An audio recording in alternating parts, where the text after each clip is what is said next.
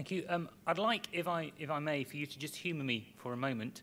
Um, and in the interest of getting some uh, audience participation going, um, I'd like, by way of show of hands, uh, who here has heard of the Technology Strategy Board? And the panelists as well. That's good. That's good news. And um, by way of a show of hands again, who here knows what we do? So not so many. Interesting. So apologies um, for those of you that this uh, little bit of speech is going to be redundant, um, but I'm just going to tell you a bit about Technology Strategy Board, what we do, what we're doing in, in Wave and Tidal. Um, so we're a, a, non-departmental government body set up to support companies um, through business-led in innovation, and primarily we do that through, uh, through grant support and funding. Um, we have a budget of around um, 440 million pounds, and within the energy team, we spend approximately 25 million pounds a year. Um, plus, we provide the uh, core funding for the offshore renewable energy catapult and the soon-to-come uh, energy systems catapult. So we have targeted programs uh, within energy that look at uh, offshore renewables, and that's, that's my area, um, but also uh, nuclear, sustainable use of fossil fuels, um, fuel cells and hydrogen, um, uh, solar uh, and energy systems. Um, we started really funding Wave and Tidal uh, in about 2010. We ran a couple of competitions then, um, which were focused on device development. So we had about 13 or so projects come through, and we worked with the, the, the likes of um, MCT and TGL, um, some of the, the, the wave developers, such as uh, Fred Olsen, for example, and I don't wish to uh, demean anyone by leaving them out, but just some examples there of who we've worked with.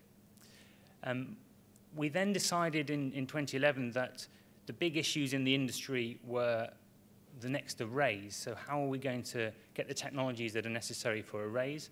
So we ran a program um, funding uh, technologies that would be useful for, for installing the first arrays. I called that MESAT, Marine Energy Supporting Array Technologies.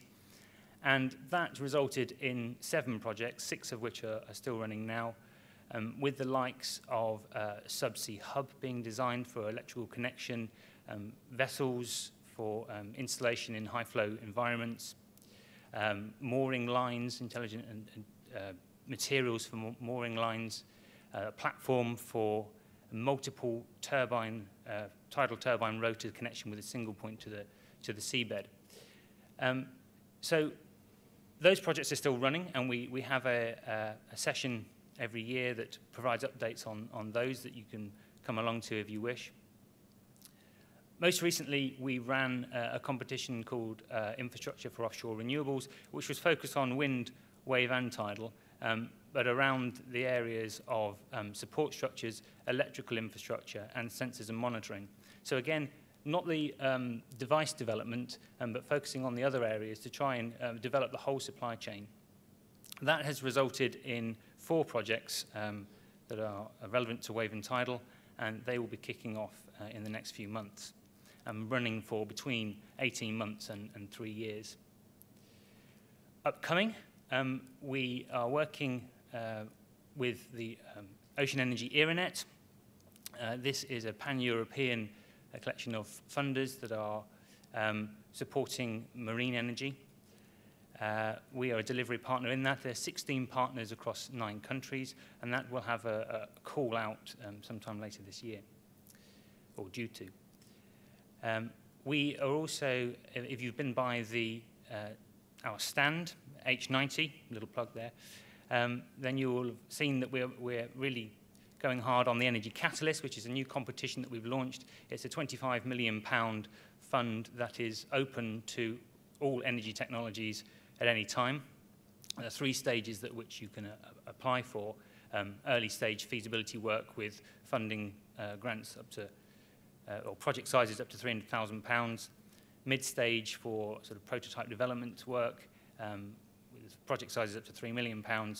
And um, late stage work for demonstrator type projects with funding up to, uh, projects up to £10 million um, with decreasing intervention rates as you go through those, so 75% um, up to for the uh, for the early stage work, down to 25% for the, for the later stage work. Uh, I'm also working with uh, the Offshore Energy Research Association of Nova Scotia in Canada to develop a competition um, with those guys looking for collaboration between um, UK and Canadian companies around uh, the development of new sensors for, uh, for tidal stream. And we see this as an opportunity to um, develop opportunities in, in new markets for companies and to support those within Canada. And the Canadians uh, and ourselves are very aligned on, on what we want to achieve there. But broadly speaking, it's about getting better data for, for tidal stream, and be that more data or measured in a different way or um, measured for, for longer. Whatever it might be, what sensors do we need to, to support that? Um, just a little bit about myself, if you're asking me any questions later. Um, I've been in renewables for uh, coming up to, to nine years now. I've worked um, in consultancies in supply chain development and turbine design, wind turbine design. I've also worked for utility uh, wind farm developer, wind farm operator, as I've seen that side of things. Uh, and for my sins, I've also been uh, part of an aircraft design team. That's all I wanted to say, but uh, any questions on, on funding and, and the projects we have coming up, um, please to take those later. Thank you.